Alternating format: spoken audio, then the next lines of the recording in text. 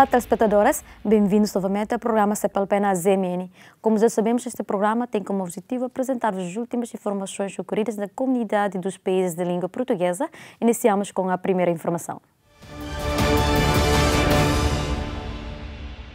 O Brasil registrou o recorde diário de 600 mortes associadas à Covid-19. Totaliza agora cerca de 8 mil mortes desde o início da pandemia no país. O recorde anterior era de 474 mortes registradas num único dia. Foi a 28 de abril quando o Brasil ultrapassou a China no número total de vítimas mortais pela Covid-19. Em relação ao número de infectados, o país sul-americano contabilizou cerca de 7 mil novos casos nas últimas 24 horas, num total a rondar os 115 mil casos confirmados. O aumento no número de mortes registrados no Brasil foi de 8%, passando para os cerca de 8 mil na última terça-feira. Em relação ao número de infectados, o crescimento foi de 6%.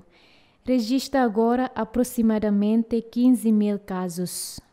O executivo brasileiro deu ainda conta da recuperação de cerca de 49 mil doentes. São Paulo, epicentro da Covid-19 no país, totaliza oficialmente cerca de 2.900 mortos e 34 mil infectados.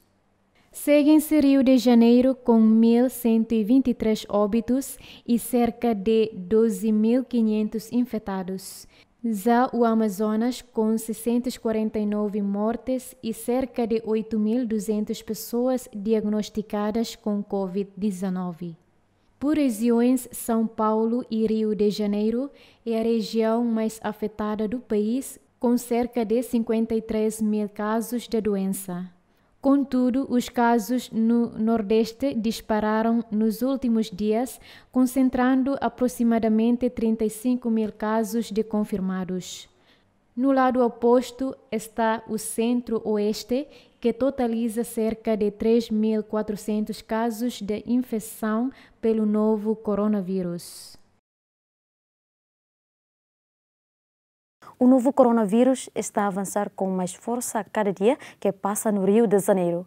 Os hospitais estão em colapso devido a centenas de pacientes que aguardam atendimento.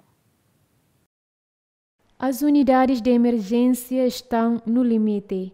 A crise que a cidade enfrenta há anos reflete o lado mais difícil com a pandemia. Poucos dias depois de enfrentar um momento mais crítico, o Rio implementou apenas 46% do plano de contingência. Isto levou a que as clínicas e os centros de saúde sofressem com a falta de equipamentos e de médicos. É frequente ver os seus corredores apinhados de pacientes à espera de atendimento.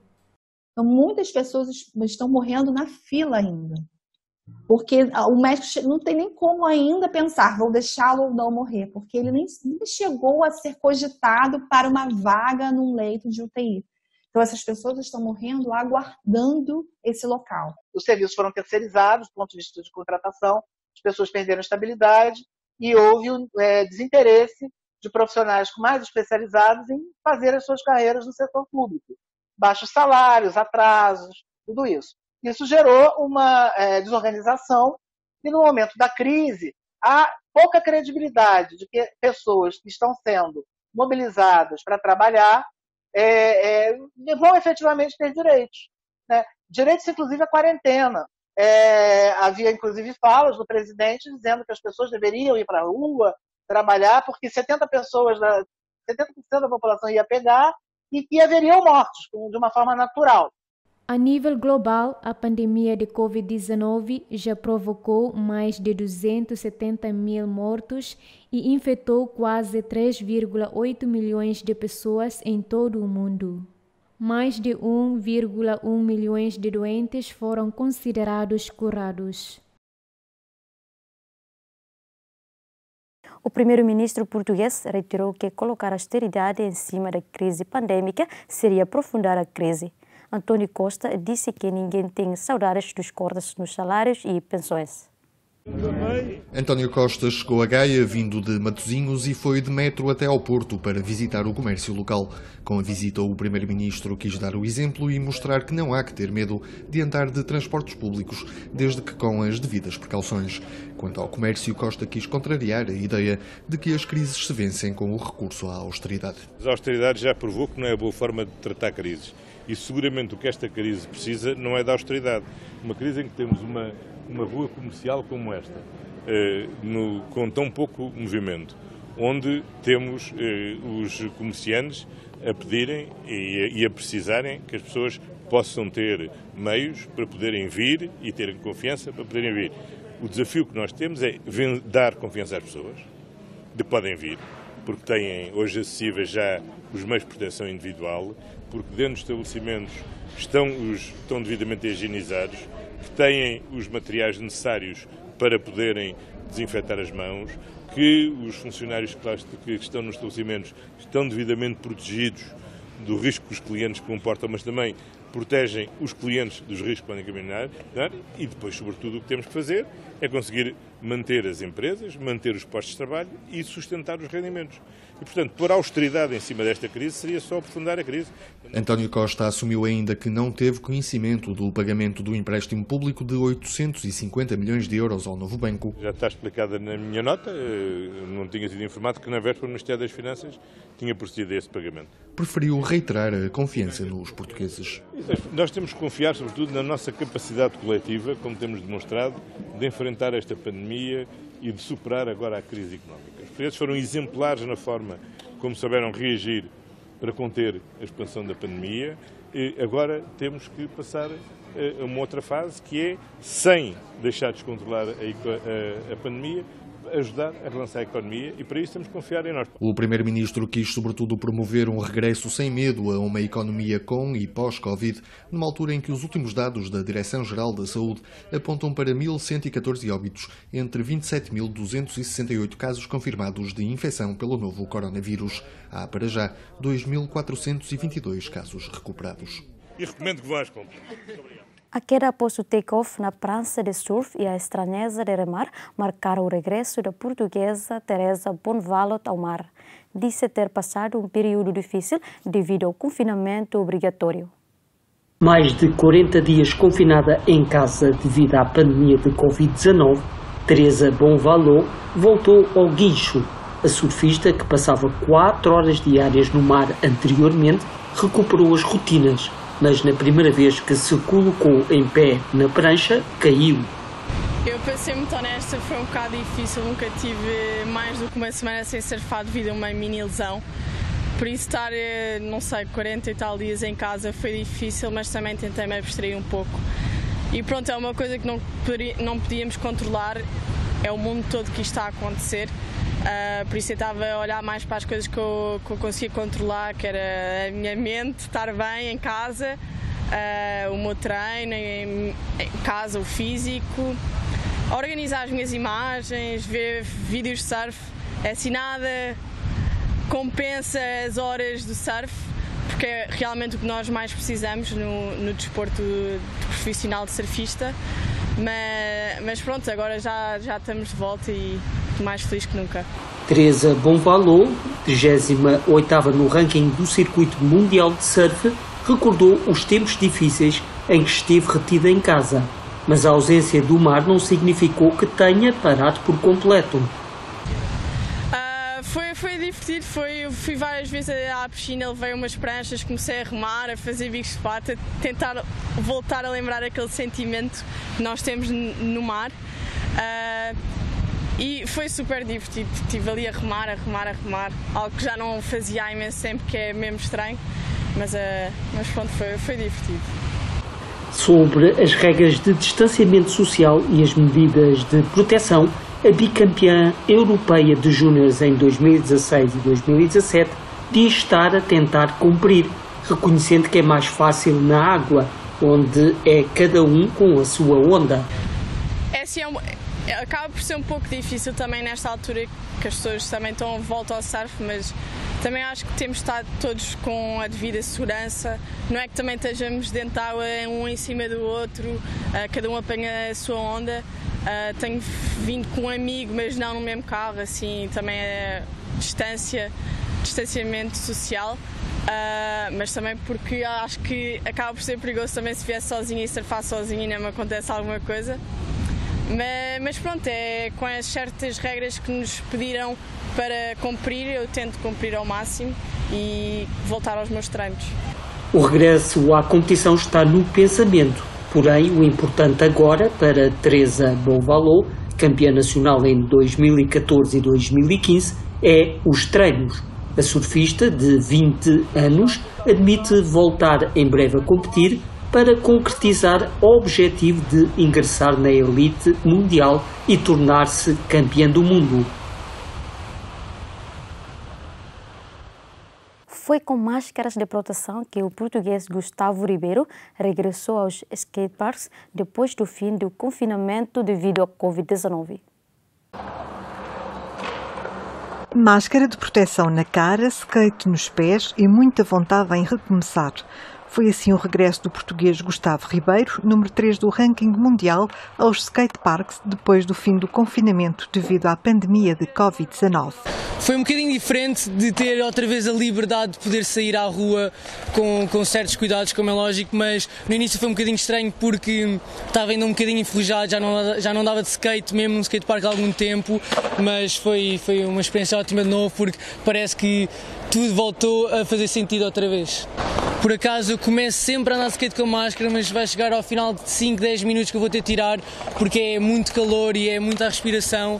Em entrevista à agência Lusa, no skatepark de Campolide, onde costuma treinar várias vezes, tal como em muitos outros parques da zona de Lisboa, o skater luso de 19 anos não escondeu a desilusão com a suspensão das competições e com o adiamento dos Jogos Olímpicos Tóquio 2020 para 2021. Quando recebi a notícia eu fiquei, como, como é lógico, bastante desiludido, e, mas ao mesmo tempo eu também não posso pensar nas partes negativas, mas sim, já que está a acontecer algo mal, temos que pensar na positividade. Então o que eu pensei é, já que um ano foi atrasado, ao menos vou aproveitar esse ano que atrasámos para conseguir treinar mais, para meter manobras novas no pé. Ao final disto tudo, tipo, há sempre um lado positivo, e o lado positivo é temos mais tempo a nos prepararmos para a próxima etapa que vem. As rotinas diárias de treino, de 3 a 4 horas na parte da tarde, e as idas ao ginásio durante a manhã não aconteceram devido à pandemia. De facto, foi, foi mais ou menos uma batalha, não só para mim, mas para todos os desportistas, porque nós desportistas não estamos habituados a ficar muito tempo em casa. Eu, pelo menos, falo por mim próprio que não fico muito tempo em casa, tenho que tentar, pelo menos, todos os dias treinar, porque a partir do momento que sinto-me em casa fechado, sinto que não estou a fazer nada produtivo para mim, então nos primeiros dias sempre foi um bocadinho mais difícil, depois comecei a habitar um bocadinho.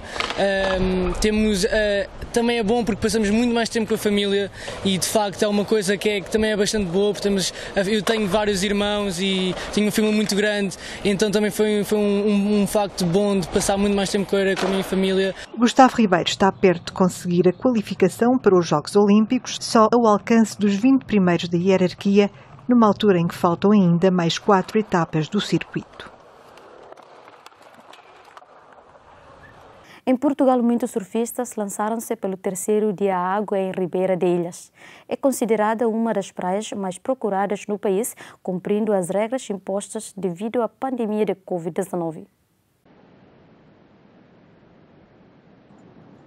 Em Ribeiradilhas, na Ericeira, uma das praias do país mais procuradas para o surf, os surfistas aproveitam o regresso autorizado ao mar logo que o sol nasce, num dia sem vento que avizinhava boas ondas. Os dias de confinamento tornaram-se difíceis, obrigaram-nos a optar por outros desportos, mas os tempos já lá vão. Com regras novas que a pandemia veio trazer, muitos já ansiavam para sentir a liberdade dentro d'água. É uma sensação muito boa mesmo, já estava com bastante saudades de surfar e sinto-me bastante relaxado e descontraído neste momento. Para quem uh, faz desporto com regularidade, é, é difícil uh, ficar fechado em casa? Sim, bastante, bastante mesmo porque começava a ter saudades e bastante vontade de surfar. A melhor coisa do mundo, a sensação e o sorriso na cara dos miúdos. O meu filho encontrou um amigo também na água e eh, é, é maravilhoso poder voltar e poder sentir outra vez esta liberdade do mar que nos faz tão bem. Vivia no centro de Lisboa e mudei-me para a Ericeira por ser a minha paixão, por ter o meu filho que ainda está na água, está a sair agora também. E toda a família tem um hábito mais saudável, mais perto do mar. E hum, eu acho que retirar uma coisa que nos faz bem, acho que foi bom conseguir-se encontrar regras e forma de, das pessoas poderem conviver. Acho que não fazemos mal a ninguém por estar na água. Foi muito complicado, mas agora finalmente já estamos de volta à água, sempre com muitos cuidados, claro. E como é que foi este regresso? Uh, foi uma das melhores coisas, eu fiquei super contente quando disseram que podia surfar, mas claro que é complicado por termos de ter imenso cuidado, mas foi muito bom, sinceramente, já tinha imensas saudades.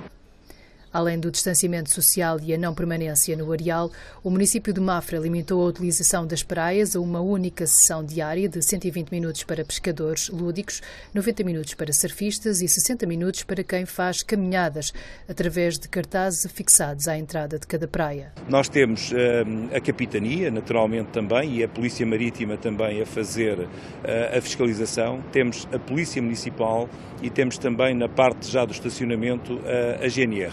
As autoridades estão presentes, mas de qualquer forma aquilo que nós apelamos nesta fase transitória, porque eu penso que estas regras vão ser válidas até uh, ao início da época balnear e até o Governo também, juntamente com a Autoridade Marítima Nacional, definirem novas regras para o início da época balnear. E aí uh, vamos todos aplicar e provavelmente existirá coimas, mas durante este período mais do que a coima, porque nós não estamos numa perspectiva punitiva, nós estamos na perspectiva de sensibilização pedagógica, de que se todos contribuirmos um pouco, naturalmente que uh, o acesso a esta, a esta magnífica orla costeira é muito mais uh, justo uh, e muito mais facilitado. A comunidade do Sarf reagiu bem às novas regras. Pelo menos depende bastante do tempo que uma pessoa demora a surfar mas acho que está um tempo adequado, mais ou menos, sim. 50 minutos é mais do que suficiente para nós mantermos uma atividade saudável é, e acho que também é uma maneira de limitar e de não estar tanta gente no pico. Encontrei amigos meus que estavam a entrar agora e eu estou a sair e assim fica sempre pouca gente dentro de água, como vocês podem ver. As regras vão manter-se até novas orientações do Governo e até ao início da época balnear, que no Conselho começa a 15 de junho. Valéria trabalhava no setor da restauração, mas a pandemia de Covid-19 tirou-lhe o emprego e o teto. O Centro de Acolhimento de Emergência para Sem-Abrigo do Casal Vistoso, em Lisboa, foi a forma de não cair na rua. Merece-me ver na rua. É uma situação que é muito negativa. Eu, neste momento, inspirado por estar a ser ajudado socialmente, também fui fazer ação social. Estamos a distribuir cabazes para aqueles que mais necessitam. Eu posso dizer que sendo ajudado, inspirou-me a ajudar. Estou a dormir na rua há dois meses. Isto é uma bola de neve, não é? Fiquei desempregado há cerca de dois anos, não é? É, muito complicado arranjar emprego com a minha idade. Para cima, a sociedade ajuda quem está a subir. Quem está a descer, leva mais um pontapé, não é? Olha, eu, eu lembro-me quando o primeiro dia que fiquei na rua, foi na Gar do Oriente, tive o apoio de um amigo meu, de, que é agora amigo, é? eu não conhecia, foi uma pessoa que já era sem abrigo e que me orientou. Temos, como pode ver, estas caminhas para a gente dormir, não é? Pelo menos não dormimos à chuva nem ao vento, nem com os animais a urinarem em cima. E é bom, pedir também é complicado as pessoas fogem quando nós não temos dinheiro, nós não temos máscaras, andamos sem máscaras na rua, não temos dinheiro para, nós nem temos dinheiro para um cigarro e um café quando faz para comprar uma máscara. Perdi o, o serviço que eu estava, porque eu estava no recibo verde, então como não tinha trabalho, eu fiquei sem emprego, né, sem uma renda. E a senhoria da casa logo a seguir pediu a casa por causa do Covid. Quem trabalha de recibo verde é totalmente dependente, né? Se tiver movimento, se tiver turistas, nós temos trabalho. Se não, é um dia sim, outro nunca mais, né? Enquanto não acabar o Covid, infelizmente a gente vai ficar sem emprego e a preocupação é grande. A pandemia de Covid-19 tirou-lhes o emprego e o teto que os abrigava. Rubem, de 22 anos, ficou sem abrigo depois de ter perdido o emprego que tinha num restaurante. Valéria, de 54, trabalhava como copeira. Jorge Costa, de 53 anos, ficou sem abrigo pouco antes da pandemia, depois de ter ficado desempregado há dois anos. O Centro de Acolhimento de Emergência para Sem-Abrigo, instalado temporariamente no pavilhão do Casal Vistoso, em Lisboa, foi a solução que encontraram. Houve quem ali chegasse e não pudesse entrar porque já estava lotado num pavilhão onde deixou de haver desporto, 95 pessoas de diversas nacionalidades em situação de sem-abrigo têm agora onde dormir, fazer a higiene pessoal, acesso a cuidados de saúde, apoio social e a um conjunto de atividades desportivas e culturais. A resposta dada no pavilhão do Casal Vistoso pretende ser mais do que um centro de acolhimento. Temos já neste momento, aliás, uma boa notícia: 26 destas pessoas já encontraram emprego eh, a partir do atendimento psicossocial que aqui é feito, com todos os nossos parceiros, mas também com a rede emprega da rede social de Lisboa. E o que se pretende é exatamente isto: é que agora que atingiram um grau de integração social muito bom, possam passar eh, para uma situação de autonomização plena a partir dos instrumentos que a rede social e que a Câmara Municipal de Lisboa está a mobilizar. O começo da resposta começa exatamente por aí, por uma casa. Uma casa onde há uma intervenção de técnicos sociais que vão acompanhando, vão ajudando, vão melhorando a capacidade da pessoa se adaptar a uma vida regular. Uma vida regular que já levam daqui. A Assembleias Gerais tem sido a pedra de toque para garantir a melhoria do comportamento, a melhoria da, da socialização das pessoas e também para encontrarem regras que sejam aceites e assumidas por cada um e por todos. Apesar de não ter uma nova contabilização, Manuel Grilo não tem dúvidas. Há hoje mais pessoas em situação de sem-abrigo em Lisboa do que havia há um ano. Provavelmente muitos mais. Há quem tenha chegado à rua há muito pouco tempo. Houve muitos que vieram de outros conselhos do resto do país para a cidade de Lisboa. De acordo com o vereador dos Direitos Sociais, estas respostas dadas nos quatro centros de acolhimento de emergência para pessoas em situação de sem-abrigo são para continuar. E se não fosse eles, com certeza, se não tivesse essa ajuda aqui, eu estaria dormindo debaixo do marcado, como muitos aí que não conseguiram lugar. É melhor estar aqui do que estar na rua. O senhor está a olhar para mim, eu tenho o banhinho tomado, não estou despenteado, não cheiro mal. Melhorar, endireitar, dar um rumo à minha vida, por assim dizer. E graças a estes indivíduos, creio que me tenha sentido melhor social e melhor mesmo comigo. Esperança que tudo se vá emendar outra vez. E todos merecem uma segunda oportunidade. O Jardim Zoológico de Lisboa reabriu portas quase dois meses depois de ter fechado devido à crise sanitária. É um espaço considerado seguro por aquelas que o visitaram numa tentativa de regresso à normalidade. O Jardim Zoológico de Lisboa reabriu esta sexta-feira as portas, quase dois meses depois de ter fechado devido à pandemia de Covid-19. Muitos visitantes viram aqui a oportunidade para finalmente saírem de casa sem colocarem em causa a segurança. Hoje de manhã ouvimos a notícia de que já estava aberto, que estaria aberto, e então decidimos Olha, porque não? Porque também a quarentena já começa a pesar, não só para nós, mas especialmente para, para a minha filha. É sempre aquela sensação de, de algum alívio, não é? De, de um descomprimir, porque, porque a tensão eh, vai, vai se acumulando e quando se vem à rua um, acaba por, por sentir uma certa liberdade. Temos que ter ali algum tento que é para ela não fugir e, e desatar a correr. O facto do Jardim Zoológico estar aberto para nós foi uh, ouro sobre azul, especialmente ela que adora animais, portanto foi. foi. Primeiro para descomprimir um, um pouco, e eu, como já não vinha ao Jardim Zoológico há algum tempo, aproveitei a reabertura eh, também pelo facto de saber que hoje não teria uma grande enchente. Estou satisfeito primeiro porque eh, sai-se um pouco e tem alguma vida social que nos fazia falta, né? E o Jardim Zoológico é um sítio ideal, né? O convívio com os animais é uma coisa sempre muito boa e que nos deixa muito relaxados também. Estou há mais de dois meses fechada em casa com o menino e achei, ele queria passear um bocadinho, achámos que hoje era um bom dia para vir, também devia estar vazio ainda. Vai chover durante os próximos tempos e quisemos aproveitar para passear um bocadinho hoje. É um sítio ao ar livre que me faz sentir segura, ainda tem pouca gente, tem desinfetante em vários pontos. Uh, já vi vários pássaros, um tigre, e acho que foi só isso, mas já vi muitos pássaros e agora estou a ver os, os pavões e este animal.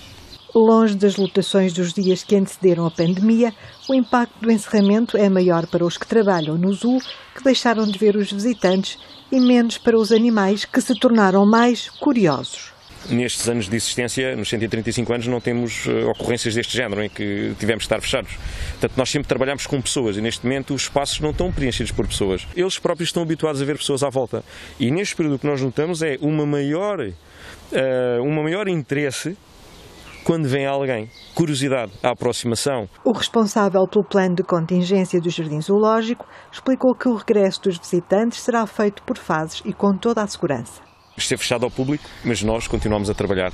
Uh, efetivamente com um plano muito, muito apertado em termos de, de, de, regras e normas para, para, para os trabalhadores, não é? para que todos estivéssemos em segurança. E neste período de abertura queremos que essa segurança passe para as pessoas, porque a segurança das pessoas é a nossa própria uh, segurança de, da parte dos visitantes. Portanto, a alteração maior que surge tem a ver com as desinfecções dos espaços gerais, uh, dos postos de higienização, Uh, e, obviamente, das pessoas que percorrem um espaço que durante estes últimos dois meses não percorriam. A nossa maior, principal preocupação são as questões dos vidros, são as questões dos, do, dos bancos, dos baldes do lixo, tudo aquilo em que nós podemos tocar, não propriamente aquilo que nós podemos pisar. Uh, em relação a isso, temos um controle muito, muito apertado. Nós o que queremos é que cada pessoa que entra aqui em cada espaço que vá percorrer não tenha dúvidas que é seguro. E com base nisso, nós nesta fase não temos apresentações a decorrer e espaços que são completamente fechados, neste momento também estão fechados. Enchentes nunca vamos ter, porque mais uma vez vamos pecar por excesso, nós vamos impedir que haja enchentes, portanto isso não vai acontecer. Neste momento nós vamos manter uh, os números dos, das 5 pessoas por 100 metros quadrados, o que, o que nos dá na área visitável que nós temos cerca de 1.100 pessoas. Com as novas medidas de segurança no jardim, os responsáveis esperam que talvez seja desta que as pessoas entendam que não devem alimentar os animais. Está feito o convite. Nada dispensa uma vinda ao Jardim Zoológico, ver as suas crias, que agora há imensas crias aqui, e, e cá os esperamos. Foram as informações dadas nesta edição. Não se esqueçam de acompanhar o programa CEPALPE na ZMN, às segundas e quintas, às 5 horas da tarde, e repetição às terças e sextas, à mesma hora. Até a próxima.